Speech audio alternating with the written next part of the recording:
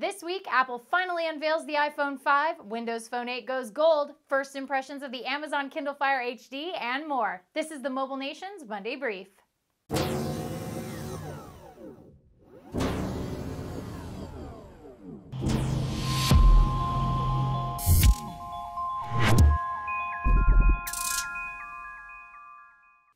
Greetings, mobile delegates. I'm Ashley Esqueda, and you're tuned in to the Mobile Nation's Monday Brief.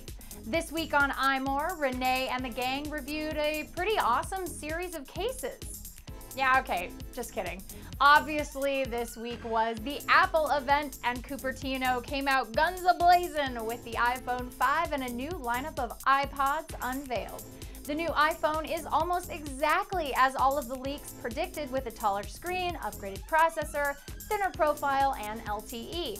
The online Apple Store sold out of pre-orders and went to backorder status in just one hour, making lining up at an Apple Store the only way you'll be able to get your hands on a launch day iPhone 5, which is this Friday, September 21st. If you're desperately wanting the newest iPhone though and don't have the cash, iMore is having a contest to win. Hit up imore.com and search for free iPhone 5. All you have to do is register and leave a comment. It's that easy. Not only did the iPhone announcement not sway the loyal Crackberry Nation, it galvanized the troops. BlackBerry fans are still clamoring for any and all information about BB10 as its launch inches closer, and last week they got it in the form of a demo video showing off app switching and swipe gestures.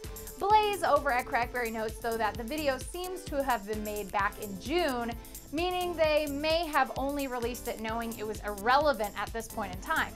And even if it is accurate, it's by no means an indication of what we might see in the final and official version of BB10. Fortunately for you in the Crackberry Nation, Blackberry Jam Americas is taking place next week in San Jose, California. It's a sure bet Crackberry will be there giving you all the details, so stay tuned to crackberry.com. Android Central got a hot little item in the mail this past week, the 7-inch Amazon Kindle Fire HD. They're busy putting it through its full paces for the review, but in the meantime, Jerry's got a first impressions hands-on for you to check out.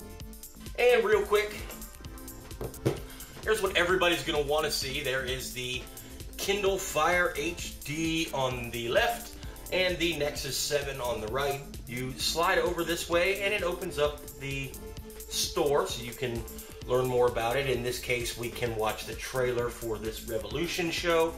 Hit the home button and it goes back. And if you see down at the bottom, there is another ad right on your home screen. This one is for a Harry Potter book. The 7-inch version of the Kindle Fire HD is out right now, and you can pick one up starting at a very affordable $199.99. If you're on the fence, stay tuned to AndroidCentral.com for the full lowdown in the coming weeks. Windows Phone Central giving WinPhone 8 fans something to celebrate this past weekend. It looks like Windows Phone 8 has officially gone gold, meaning the OS has been finalized in Redmond and they're ready to ship out those SDKs to OEMs so they can optimize it for their specific hardware. This is pretty big news for anybody looking to pick up a fancy new Windows phone this holiday season, and Danny and the rest of the Windows Phone Central crew are eyeballing an early November release for many of the carriers. They'll be keeping every eager fan up to date on WPCentral.com.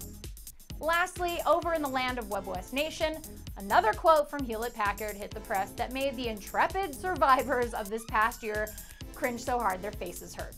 HP CEO Meg Whitman sat down with Fox Business last week and the topic of smartphones came up. Fingers crossed, everybody. No. Cringe number one, Meg saying WebOS was a detour. Cringe number two, Meg says at some point HP would ultimately have to offer a smartphone, but if you combine that with last year's mention by her that they would do a WebOS tablet maybe, but not likely a phone, and rumors that they're looking into Windows Phone 8 instead of WebOS, well, that all combines for a full-on hair-pulling out moment for fans of WebOS. It's like proposing to a girl, having her say, I want to wait, and then hearing she got engaged to someone while you were still dating and explains it by saying, I needed somebody looking for commitment.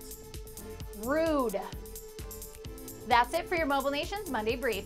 You can subscribe to our YouTube channel at youtube.com slash mobilenations Check out our network of dazzling and informative podcasts at mobilenations.com slash shows, and you can follow me on Twitter at Ashley Esqueda. Nations, you have been briefed.